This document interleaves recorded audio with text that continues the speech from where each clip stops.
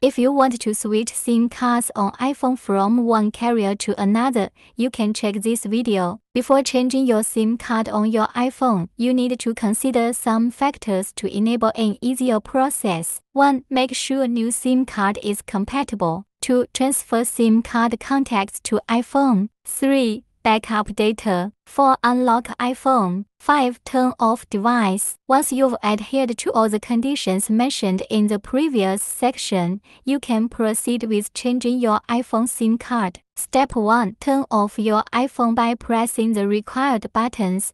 You can also go to Settings General and tap Shutdown. Step 2. Insert a SIM card ejection tool into the hole next to the tray. This is mostly found on the sides. Step 3. When the tray pops out, you can gently remove your SIM card, place a new SIM card on the tray and ensure you position it properly. Next, insert the tray back into your iPhone. Step 4. Lastly, turn on your iPhone once your new SIM card is detected. You can make calls, send messages, and access other carrier services.